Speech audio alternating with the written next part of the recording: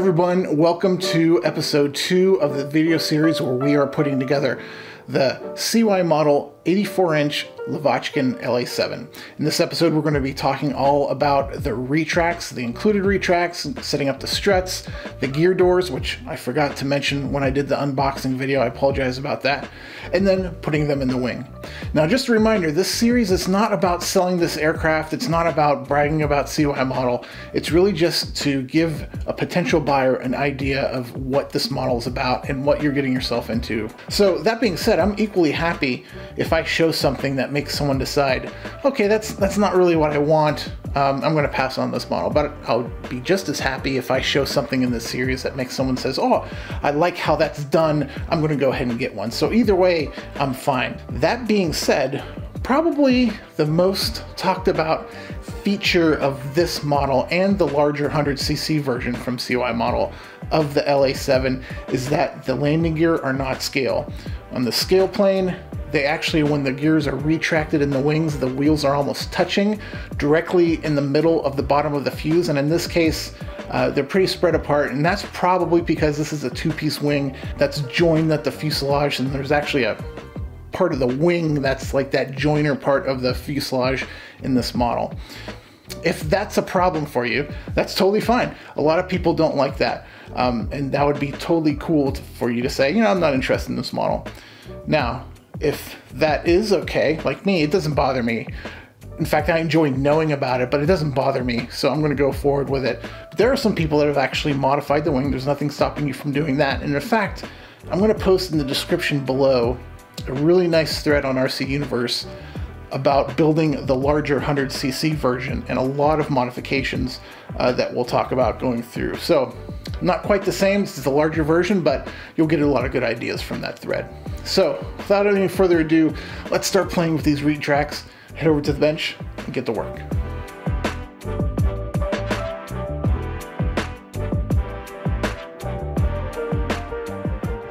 Let's start off with the retract units and how they work. We'll get these all hooked up together, show you how it works. So each unit will plug into the control unit and on the on that side there, there are two back gear and one front gear if you're using tricycle, but we're just using the back gear.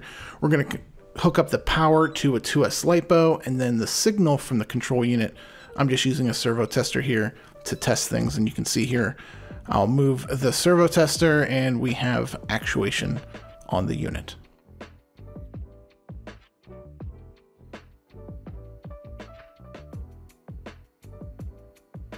So we'll take the strut and it fits pretty nicely right into the unit and we're going to put this little nut on and this is a brace for the gear doors.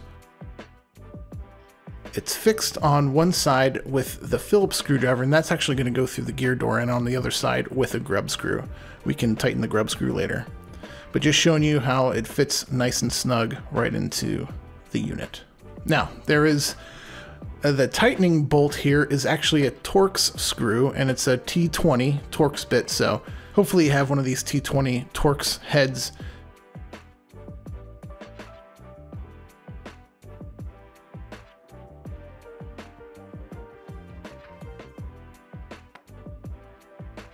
We'll put the strut on and it's pretty self-explanatory.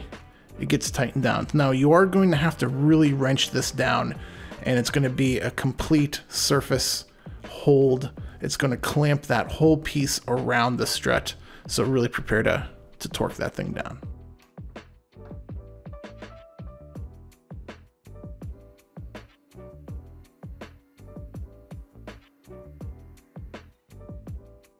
And also, if you don't have a T20 bit, it does come with a T20 Allen key for you. But let's move over to the axle, and you can see there's one edge that's kind of grouted out, and that's going to be the outside of the wheel, and we'll show you this in a second. But we just slide the axle through the hole at the top of the strut, and the axle itself is held in with two larger grub screws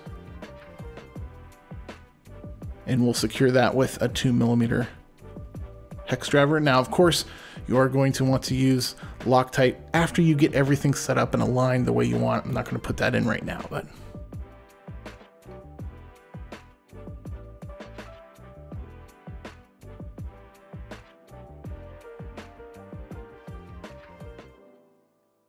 All right, after the axle is secured, there is a spacer that goes on the axle in between the strut and the wheel.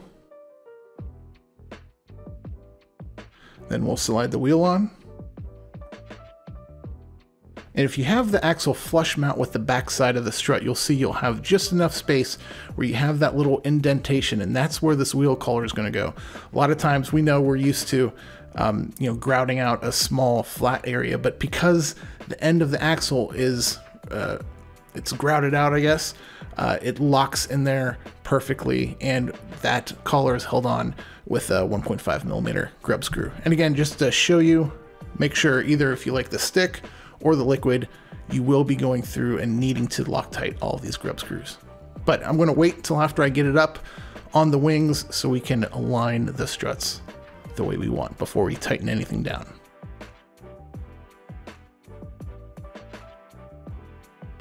All right, here are the gear doors. And again, I apologize, I missed these when I did the unboxing video, but they're pretty self-explanatory. They come with two holes in them and they line up. One with the Phillips head, you'll see a tapped hole on the right in the middle of the strut.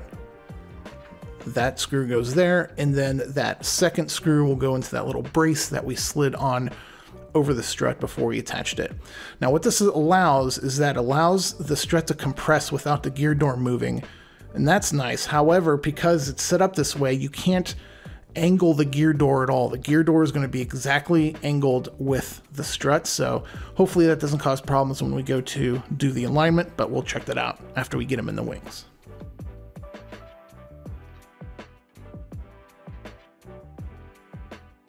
All right, here's the wing, and it's already cut and open for you, and this is where we're going to drill. But first, let's show the wheel wells. If you want to use the wheel wells, especially if you're using a gas or petrol engine, uh, you probably probably a good idea to put those in and they just slide in there and you'll see you're going to have to cut the end open where the strut goes and then trim around the top. I'm going electric, so I'm not going to use the wheel wells and I can always put them in later. Here is the place for the retract unit and unfortunately I was so excited to just plop these in there. They don't fit.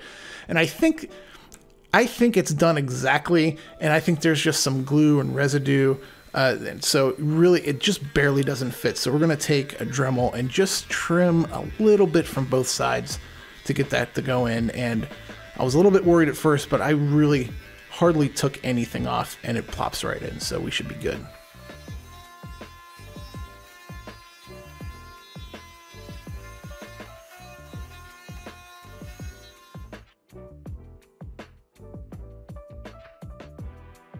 All right, that's much better.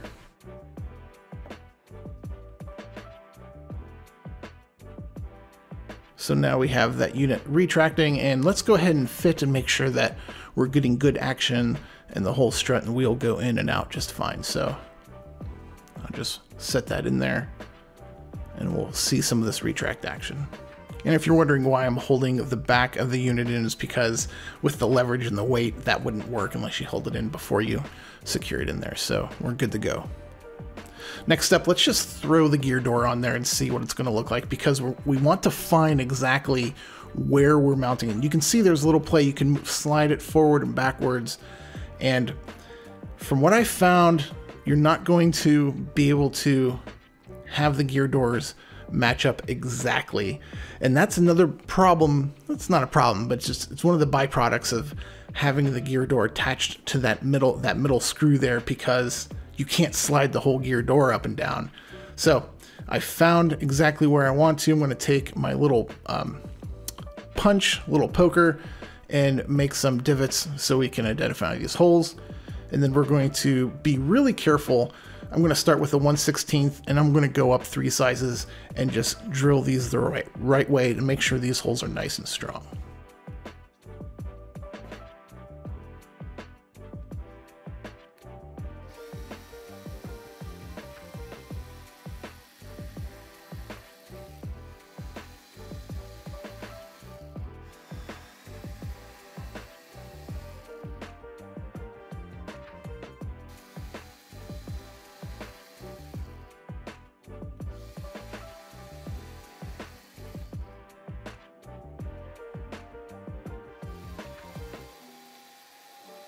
All right, so now we have the holes. We're going to run the included bolts through just to establish the threads. And then I, I didn't put this in the video, but I sanded the top of the holes to get those nice and clean. And we'll go through with some thin CA, get it down in those holes to really set those threads.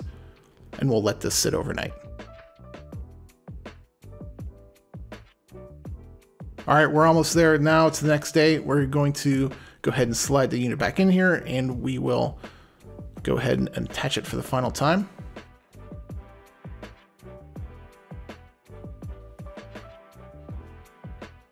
Line it up over those holes.